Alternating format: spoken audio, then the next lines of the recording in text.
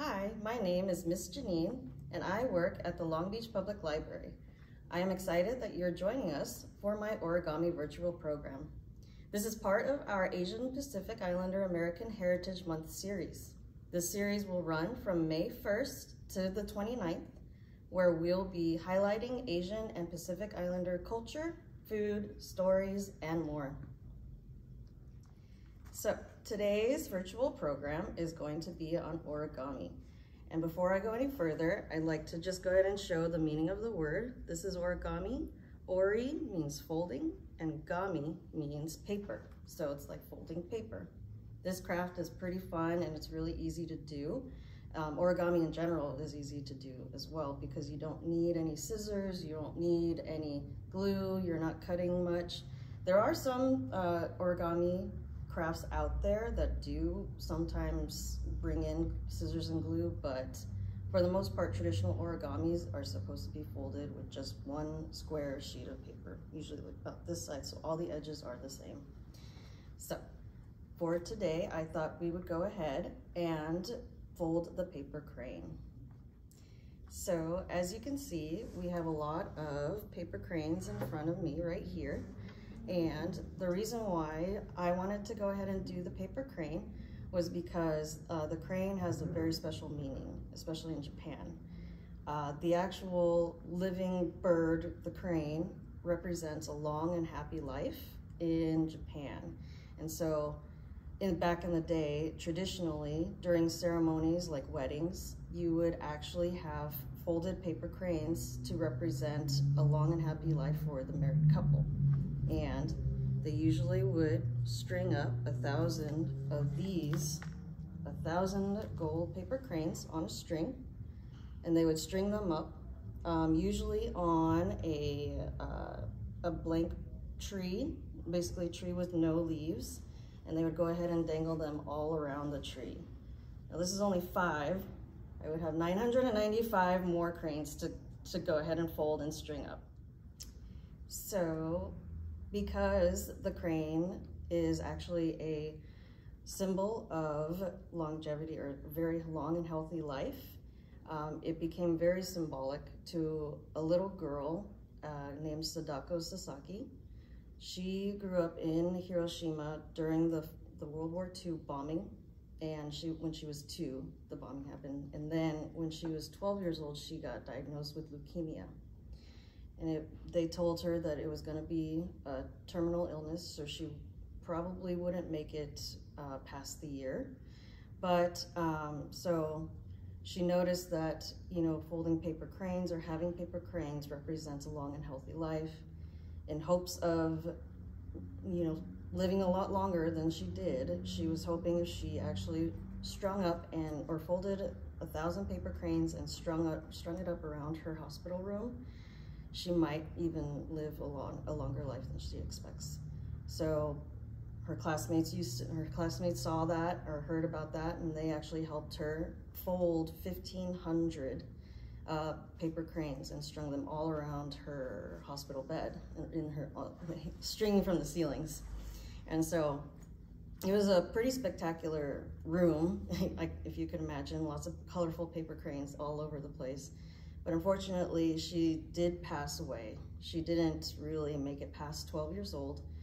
And so because of that, um, because of her, you know, efforts to try and, you know, live a longer and happy life, uh, especially as a Hiroshima bomb uh, survivor, she hopes, she did hope that a lot of other children would actually survive past the time that she did. So with that in mind, uh, Japan actually created this monument in honor of Children's, uh, Children's Peace Monument, they call it, and it's actually in Hiroshima.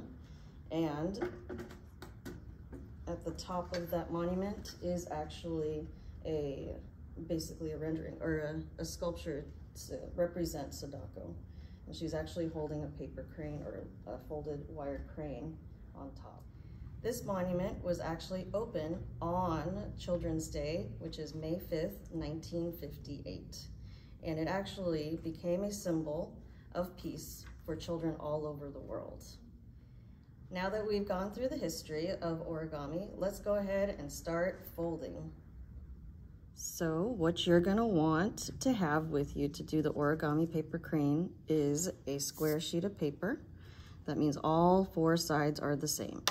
And you're gonna go ahead and turn it into a diamond type square where you have a point facing you. So what you're gonna go ahead and do is go ahead and fold diagonally. So you'll match corners to corners, and you'll make a triangle. Then you're gonna go ahead and open it up, and then you're gonna go ahead and do another fold the diagonally the other way, matching up the corners to corners, like so. Then you're gonna go ahead and open it up and on the white side, you're gonna go ahead and fold it horizontally. Just go ahead and match the edges to the edges. You'll open it back up again. And now you're going to fold vertically. And do the same. Match the edge to the edge. Now, you'll go ahead and open this up. And with the white side of the paper, you're gonna go ahead and face the white side up. You're gonna take these three corners and bring them to this corner. It may seem tricky, but don't worry. So you'll take the top corner, bring it down here, and you notice these parts are more open. So you'll go ahead and crease it in and reverse fold it inside. Then you can do the same for the other side. Like so. And now you have a smaller square. Then what you're gonna do is you're going to bring this side, your right and your left side, closest to you, and you're going to fold this edge to the center. So you're going to do this bring the edge to the center and you'll do the same for this side. So you're kind of making a kite shape, kite-like shape. Okay, once you have the kite, you'll go ahead and fold this point backwards, this triangle shape backwards, like so.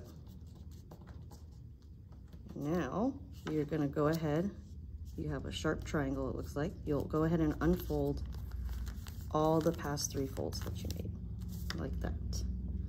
Now this one is definitely tricky.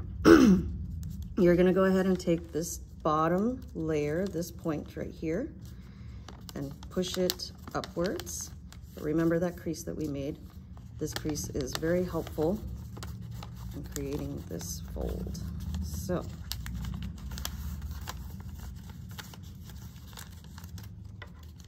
in.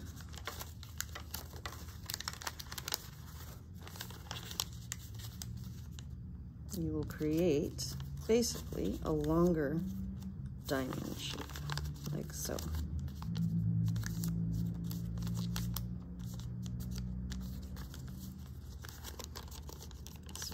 It might not cooperate, but it's okay. Take your time.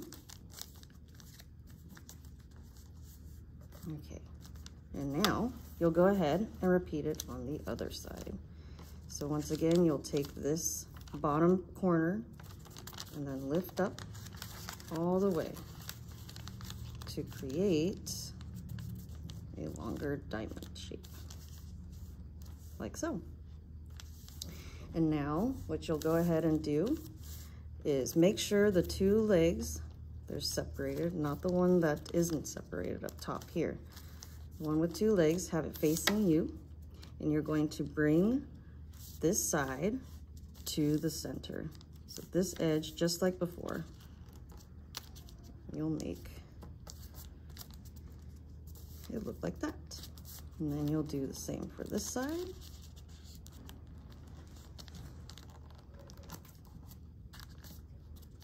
and it'll look like that. Then you'll flip it over and do the same.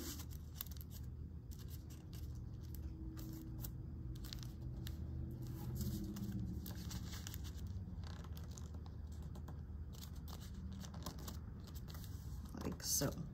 So you'll have an even sharper diamond. And then what you're gonna do with the two legs, you're gonna take one side and you're going to fold it upwards like so to the side. Just a little off angle, and then you'll do the same with the other side.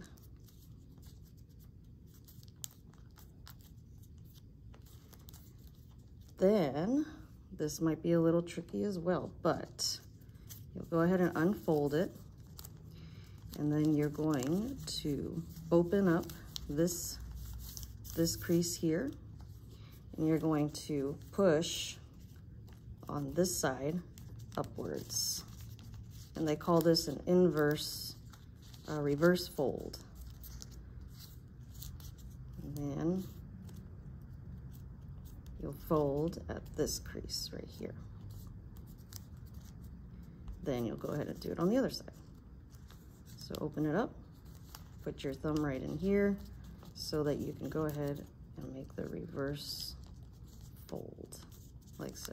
And then it kind of looks like you have a W. Then, as you can see, these are gonna be the wings, but one of these is gonna be the head or the tail of the crane.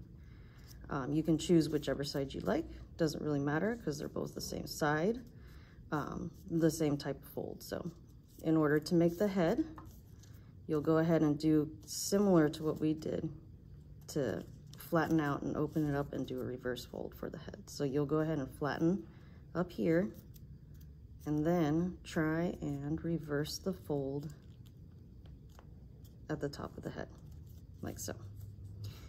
And then, as you can see, these are the wings. You can keep the wings up if you'd like, but you can also fold them down as well, like so.